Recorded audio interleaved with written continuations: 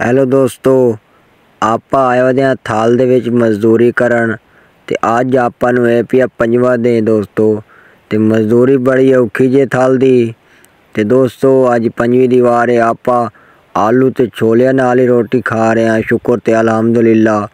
ਤੇ ਦੋਸਤੋ ਦੋ ਪੜੀ ਮਜ਼ਦੂਰੀ ਬੜੀ ਔਖੀ ਹੈ ਥਾਲ ਦੀ, ਲੇਕਿਨ ਮਜਬੂਰੀ ਹੈ ਫਿਰ ਕਰਨੀ ਪਉਂਦੀ ਹੈ ਤੇ ਆਪਾਂ ਇਨਸ਼ਾਅੱਲਾ ਤਾਲਾ ਤਕਰੀਬਨ 7 ਦਿਨਾਂ ਦੇ ਵਿੱਚ ਆਪਣਾ ਕੰਮ ਕਲੀਅਰ ਕਰਤੇ ਤੇ ਘਰ ਵਾਪਸ ਚਲੇ ਜਾਣਾ ਦੋਸਤੋ। ਤੇ ਕੁਝ ਦਿਨ ਆਪਣੇ ਜਾਨਵਰਾਂ ਵਾਲੀ ਵੀਡੀਓ ਦੀ ਛੁੱਟੀ ਤੇ ਥਲ ਨੂੰ ਇੰਜੋਏ ਕਰੋ ਦੋਸਤੋ। ਖੈਰ ਇੰਜੋਏ ਤਾਂ ਨਹੀਂ, ਜਿਹੜੀ ਧੁੱਪ ਹੈ ਅੱਲਾ ਮਾਫੀ ਦੇਵੇ, ਅੱਲਾ ਬਚਾਵੇ, ਬੜੀ ਮਜ਼ਦੂਰੀ ਔਖੀ ਹੈ ਦੋਸਤੋ। ਇਹ ਸਾਰਾ ਥਲ ਕੁੰਜਣਾ ਹੈ। ਅੱਲਾਹੂ ਅਕਬਰ। ਕੋਈ ਮਸਲਾ ਨਹੀਂ ਹੈ ਇਨਸ਼ਾਅੱਲਾ।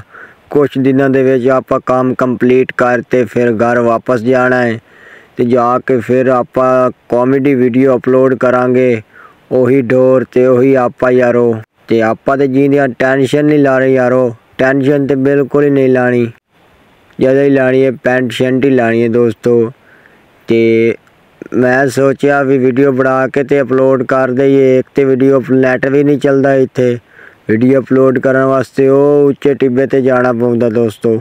ਇਹ ਸਾਰਾ ਥਲ ਦੋਸਤੋ ਆਪਾਂ ਹੀ ਵੜਨਾ ਹੈ। ਲੇਬਰ ਵਾਲੇ ਲਵਣ ਸਾਹ ਹੀ ਨਹੀਂ ਦਿੰਦੇ, ਪੀਵਣ ਪਾਣੀ ਵੀ ਨਹੀਂ ਦਿੰਦੇ ਤੇ ਆ ਦਿਨ ਕੰਮ ਹੀ ਕੀਤੀ ਜਾਓ ਬਸ, ਛੋਲੇ ਹੀ ਪੱਟੀ ਜਾਓ, ਛੋਲੇ ਹੀ ਪੱਟੀ ਜਾਓ।